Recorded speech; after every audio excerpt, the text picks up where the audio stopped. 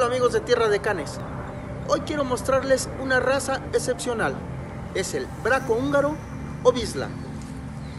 Un can con un olfato excepcional.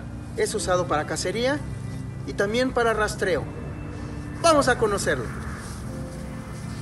De tamaño mediano y comparten características con el braco alemán y el pointer.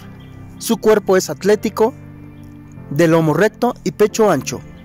Sus ojos son de color amarillo. Su pelaje es corto, tupido y duro, de tonalidades amarillas a rojizas.